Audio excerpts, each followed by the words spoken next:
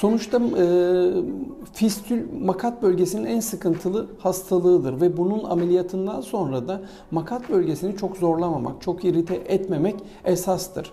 Biz hastalarımızda bu bölgenin çok fazla irite olmaması için genelde sebzeli yiyecekler ya da işte ev yemekleri dediğimiz e, sebze ağırlıklı yemekler yemelerini öneriyoruz. Aslında buradaki ana problemimiz ya da ana tavsiyemiz şudur.